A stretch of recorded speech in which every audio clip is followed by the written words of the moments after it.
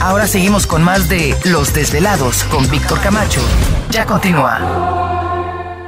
Así es, seguimos con eh, el programa de los desvelados en esta noche y por supuesto le recordamos a todos ustedes que las líneas telefónicas siguen abiertas. Es el 562-904-4822 de la República Mexicana 800-681-1847. Eh, recuerde que pueden enviarnos sus mensajes también a través del correo electrónico desveladomayor.gmail.com y no, se les olvide visitar nuestro canal en YouTube. Hay cientos de videos muy interesantes y todos los días subimos tres videos, los cuales puede compartir, suscribirse al canal y darles like. Fíjense que sale, sale una nota eh, rara o extraña acerca de, de una familia en Paraguay que hace una denuncia ante las autoridades por el secuestro de su hija. Pero lo curioso de esto es de que el secuestro o, el aparente secuestro o quien la haya secuestrado, según los padres de, esta niña, es un duende. Entonces ellos hacen la denuncia ante las autoridades eh, de, de, que su hija de cuatro años fue secuestrada por un duende y piden a las autoridades ayuda respecto a esto. Eh, no sé, o sea, imagínense ustedes, hemos platicado aquí tantas veces acerca de los, de los famosos duendes, de los chaneques y todo esto. Pero imagínense usted la desesperación de, dos padres de familia al ver que su hija pues no está en casa y, pues viven en un lugar donde pues se habla mucho de esto. Fíjense, la, la nota dice que una peculiar denuncia fue realizada por una familia de campesinos contra el duende Yacillatere de la mitología guaraní supuestamente por secuestrar a su hija Rosita de tan solo cuatro años de edad. La fiscal Mirna Rivas dijo esta semana a los periodistas que el llamativo hecho ocurrió el 26 de agosto pasado en el pequeño poblado de Santa Rosa, ubicado en la selva del departamento Guaira, Guaira a unos 200 kilómetros al este de Asunción. Y así Yatere, un homo travieso de piel blanca, baja estatura y cabellos rubios, acecha solo de día las casas donde habitan niños para convencerlos a salir en busca de aventuras, según la mitología de los antiguos aborígenes. La fiscal Rivas relató que Rosita Salvatierra tiene cuatro años de edad y de acuerdo con su madre de 45 años y de su padre de 72 años, desapareció una mañana soleada sin dejar rastros. Ellos están convencidos de que fue capturada por el Yasi Yatere porque supuestamente en los días previos al 26 de agosto el duende realizaba misteriosos movimientos en el hogar e incluso llamaba la atención de Rosita con sus fuertes silbidos, añadió. Esta familia muy humilde solo habla el idioma guaraní, pero únicamente el padre escribe más o menos y comprende algunas palabras en español. Todos los habitantes de la localidad Santa Rosa tienen las mismas características socioculturales. En Paraguay, eh, que es habitado o habitado antiguamente por la gigantesca familia lingüística de los guaraníes, cuyos dominios territoriales se extendían hasta el sur de Argentina y gran parte de Brasil, todavía los pueblerinos otorgan vigencia a fantasmas y genios y a los que a los escritores solo dan vida en sus páginas de cuentos y novelas fantásticas. Pero bueno, esta familia menciona a, los, a las autoridades de que su hija fue secuestrada por un duende, el famoso eh, Yací Yatere, allá en, bueno, allá en Paraguay, ¿no? No sé, se me hace, se me hace curioso, ¿no? De que muchas veces la gente civilizada, entre comillas, no, no demos cabida a este tipo de, de relatos, ¿no? Porque la nota menciona precisamente de que todavía los pueblerinos otorgan vigencia a fantasmas y genios, ¿no? Como diciendo, es que esta gente todavía se imagina. O sea, como ignorantes. Sí, todavía se imaginan cosas. Pero eso no es cierto, o sea, esto, eh, por lo menos aquí, gente de todos los niveles socioculturales nos han contado y nos han relatado sus experiencias respecto a duendes, respecto a fantasmas, respecto a ovnis, respecto a todos estos temas que a veces es difícil de, platicarlos.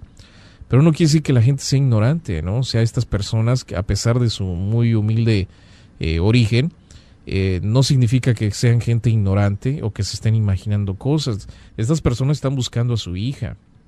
Están buscando a su hija, no van a estar inventando una historia. ¿O es que no queremos ver o no nos quieren hacer ver o qué? Sí, pero imagínense la desesperación de esta gente que se acerca a, las autoridades de, esta, de este lugar. Y pues las autoridades simplemente dicen, es que pues es que son gente que todavía creen fantasmas y genios y todo ese rollo, ¿no?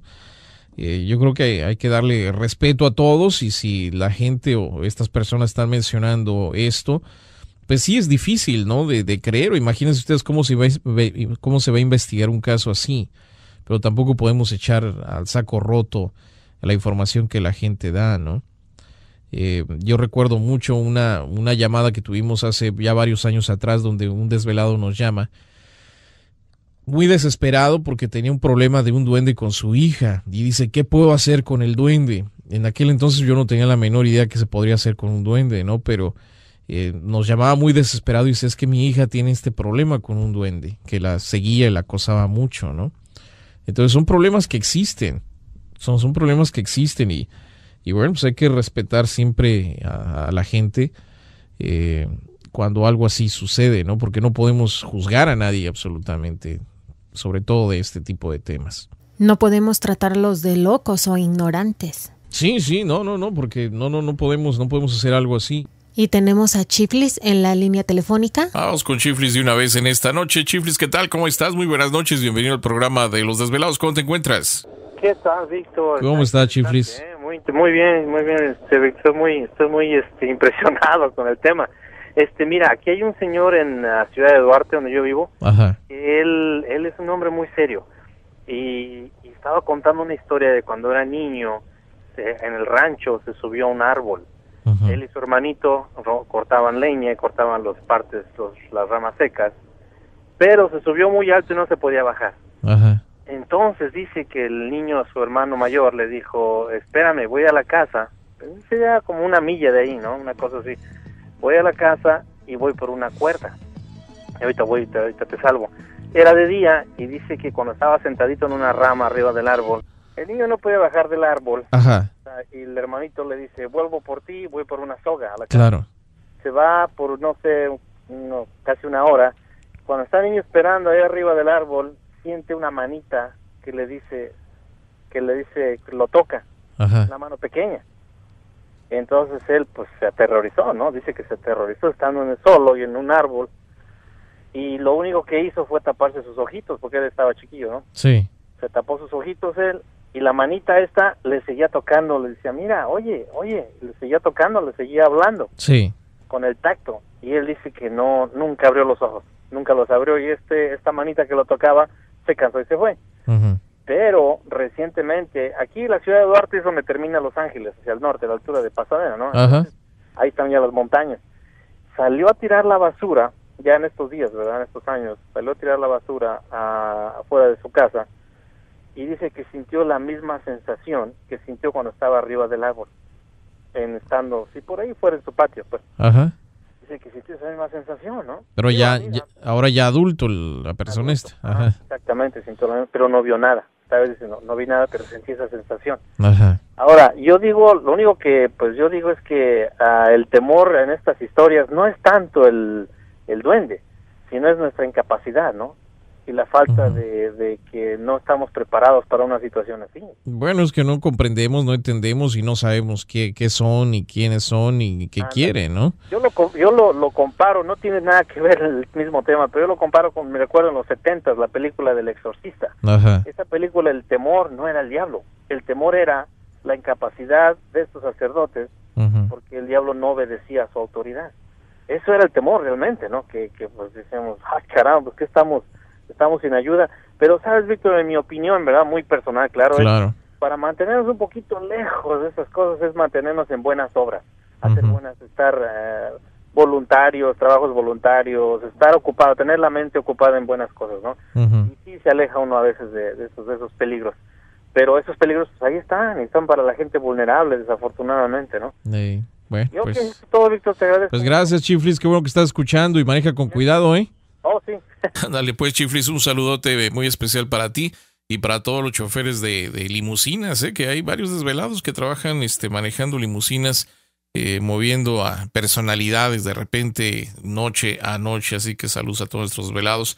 Las líneas telefónicas ya conocidas. Es el 562-904-4822 de la República Mexicana 800-681-1847. Vamos a nuestra pausa, regresamos con más del programa de Los Desvelados. Los Desvelados con Víctor Camacho regresan con más en cuestión de minutos. No te vayas.